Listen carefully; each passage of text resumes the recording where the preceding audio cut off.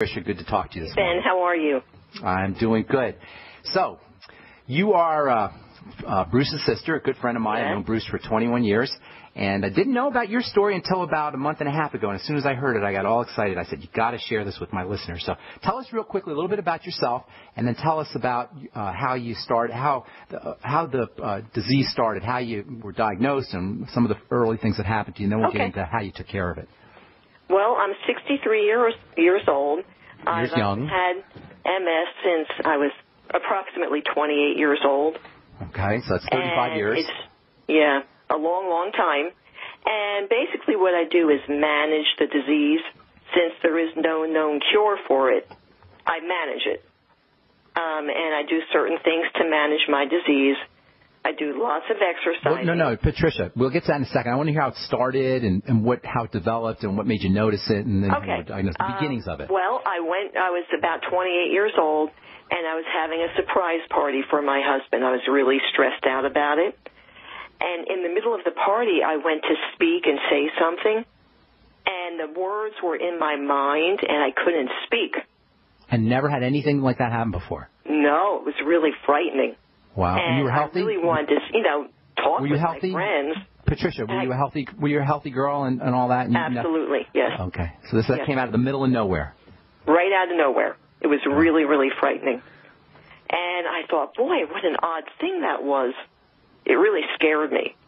But, you know, I calmed down and I got through the party and everything was fine. It was just a fleeting thing. And then I would say about the, a year later, I c- had a hard time walking. Hmm. And it was during a time that I was stressed out. Stress is a major factor in all of this and um, I couldn't walk. My foot was dragging behind me. Wow. It was really, really frightening. And you're only 29 years old at this time. At this yeah. point. hmm Wow. Yep. So you and. I was always very athletic, and this just came out of the blue. I had no control over my body anymore. wow. Really so what you go, you go to the doctor. You go to a neurologist or what? Right. I went to a few doctors, and some doctors just said, "Hmm, that's odd." That was their reaction. Did they put you on odd. medication? Did you get? Did they put you No, drug? no medication. They just really didn't know what to do. They had no idea. So one per one doctor said, "You must be really nervous." And I was like, "Well, I may be nervous, but that's not normal to lose control of walking." Now, so are you? Is it degenerating? I degenerating? didn't know what to do. Is it I was degenerating really and getting afraid. worse? Is it getting worse and degenerating, or is yeah, it? see- yeah. So then eventually I couldn't write. I couldn't do handwriting of any type. At the I worked in an office. I had to write and type all day, and I had no control over my fingers or my hands.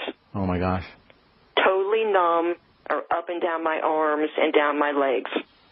So what's going through your head? What's going through your head? You must have been totally t- terrified. I was terrified, terrified. wow. So eventually, I lost sight in my one in my left oh eye. Oh my gosh. How old are you now? How old at this point? 63. Well, No, no, when no, this no, happened, yeah. I was about 30. So you're So only this has been going on for a few years at this point. wow, and you're starting to you're, you're going blind now. Yes, in Oh, one God. eye, totally blind. Oh my goodness. So I rushed to the eye doctor. He sent me to a specialist, a neurologist, and the neurologist told me, I think, I'm not sure, but I think you have MS. Wow. So he sent me to have an MRI done, and three doctors later agreed that I had MS. Now, how did they diagnose the MS? Uh, Um, well, it's just from the MRI. Okay, They so it can was see the scarring on your brain tissue, okay. okay? Because I guess you have like myelin covering. Right. And they see the myelin is damaged. They could see the myelin is damaged. Yes, they could see it. Now, are you having any digestive health issues at this point? Any food problems? No, uh-uh. Nothing. Nothing with food, nothing. Okay. I did have trouble going to the bathroom, and most that's- people with MS do have that, by the way. Okay, constipation. All right. Yeah, So did you yeah. did you have a history of it growing up, or did it just No, start with the no, MS? nothing. It kind of it kind of came along with the multiple with the MS symptoms. Yes. hmm Okay, so, you're 30. also, I worked in an office, a large office. I worked for a large corporation. So, community, you do a lot of talking and speaking. And oh, well, every once in a while, I couldn't talk. And I had bosses that I was going to respond to their questions, and nothing would come out of my mouth, and they would look at me kind of funny, like, "What's wrong with you?" Wait a minute, you'd open your mouth and no sound would come out? Nothing. Oh my! So you must have felt like you were trapped in your body, like you were a Yeah, prisoner inside your body. Holy so cow! I, when I got the diagnosis of MS, I was kind of relieved because at least I knew what it was. Uh huh. It was an odd kind of feeling. So did they try to treat it? They pharmacologically? Yeah, or yeah, What did they, they do? did. What, what did they do?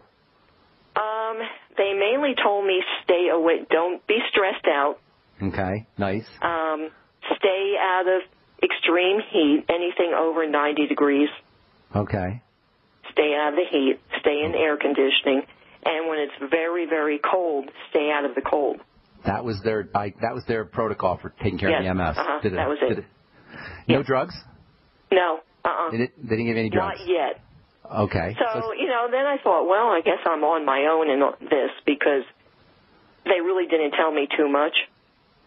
Um, so I thought, well, you know, I'm going to do yoga. I had been, I always had been exercising, but I thought, you know what, I'm really going to get serious about exercising now because, well, I I think when you when you have something like this happens, your natural um, inclination is to pull back and not do anything. Interesting. Hang tight. I Uh, thought- Trish, Trish, we got to take a break. Hang tight. Hold that thought, okay?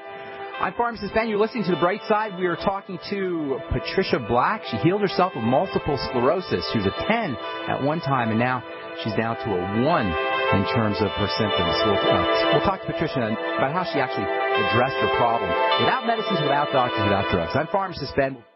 A little over a year ago, I began to do a lot of research into why, even though I had a pretty good sized meal, that I was still starving. And my research led me to a well known fact that most of the soils that we grow our crops on here in the United States and across the industrialized world are almost completely depleted of almost all of the key minerals and trace elements that our bodies need to rebuild themselves, fight off cancer, and be healthy. I then searched out the best vitamin and mineral company out there and discovered Youngevity. The Youngevity products are designed to give you the real nutrition you need, and once you've got that, you don't have to eat as much to be satisfied. I've lost 37 pounds in two months simply getting the vitamins and minerals I need. Check it out for yourself. It's incredible. Go to InfoWarsTeam.com today and order your first canister of Beyond Tangy Tangerine Complete Multivitamin Mineral Complex Dietary Supplement. That's InfoWarsTeam.com.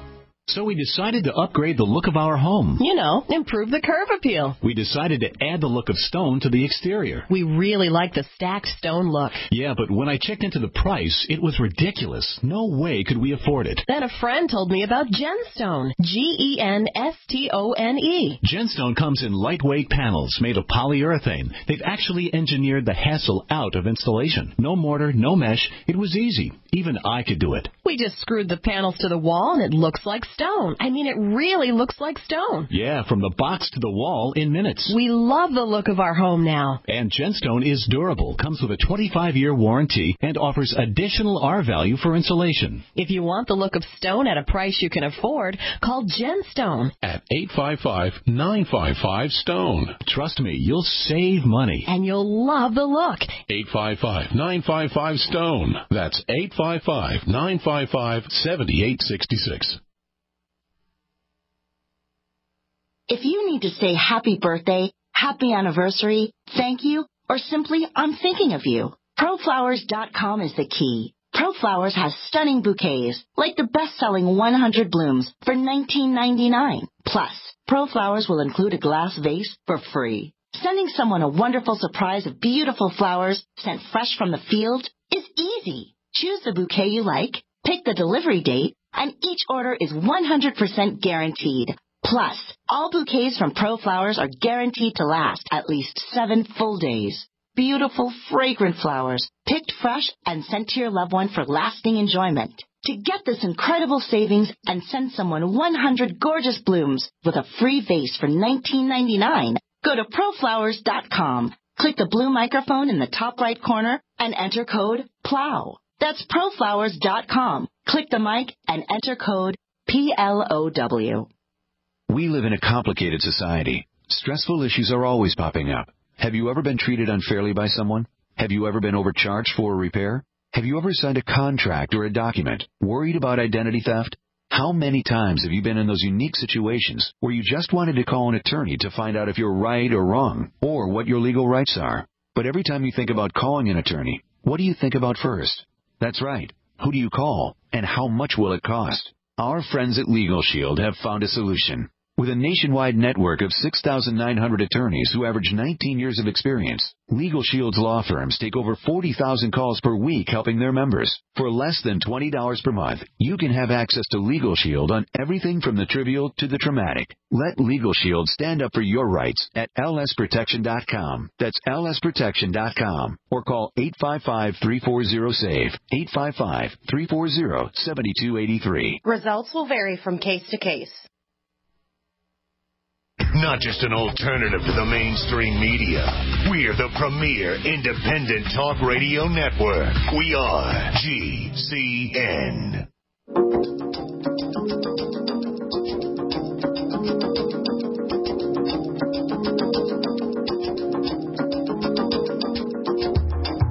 All right, we're back on the bright side talking to Patricia Black. She healed herself of multiple sclerosis. Uh, Patricia, continue on. Your last you were talking about. Uh, so you're you're blind now, or blind in one eye. You decide to take yoga and uh, pr- proceed. This is you're 32 years old, right? Way that when that disappeared after three months. Okay. I, it's a very strange disease. I know. So then I started thinking, well, you know, I I don't want my muscles to atrophy because this is a di- disease that involves balance and strength. It, it challenges your balance and strength. So I thought, you know what? Yoga would be perfect for um, dealing with strength issues for your muscles and dealing with balance issues. Okay. And that's why I started to, to do yoga. It was the only thing that worked. And in the beginning, when I started to really stretch my muscles, it was so painful then. Oh my God. Wow. It was awful. But then eventually, it, the pain started to go away, and I started to get really strong. Wow. It was amazing. It's like my body bounced back. Wow. So you I went never, from I never saw anything like that. you went from falling apart. now- you, went, you went from falling apart to now your body's actually feeling strong. Yeah, Right. Wow. From doing yoga, it's it's hatha yoga, so it's deep breathing yoga. I do it every single day Still. for at least 45 minutes Still. every day. Seven day days a week. Day out. Wow. Right. And so I do that every day. I do speed walking. Not heavy duty speed walking, but just enough to keep my coordination, just keep me fit. And my main goal is to keep coordinated and to stay balanced all the time because with MS you you really can't walk, you become crippled. Did you have to quit your job? No. Uh-uh. You, you still maintain working all through your 30s and 40s. It was really tough, but yeah, I did it. And would you say, how long would you say it took for you to go from from the real depths of your MS? Yeah, when I was really, really sick yeah, to starting into to make. my my healthy state now. yeah. How long? I would say about five years. So you went from really terrible MS to being really, Really healthy bad. with, Blind, within five years. Couldn't walk. Yeah. Healthier, healthier than bef- healthier than before you had the MS. Yes. Yes. Wow, healthier than your. fr- Absolutely. You think you were healthier and stronger than your friends? Well, yes, I do. But let me tell you, I worked for a large corporation, and we had a lot of people who had MS in my Huh. building. Okay. There were thousands of people in my building. And word got around of people who had MS, and we would get together and talk about it. And we found that the people who exercised were better than the people who were taking heavy duty drugs. No kidding. So exercise is a better medicate. Exercise is better. Absolutely. Yes. How Yeah. interesting. Now, in how fact, I had one uh, one friend who had MS, and she was uh, an exercise teacher at night after work. with MS? Yes. She was an exercise teacher with multiple sclerosis. Yes. That's Absolutely. amazing. Now, how about where's the? Tell us about the food component. Or there must have been. I'm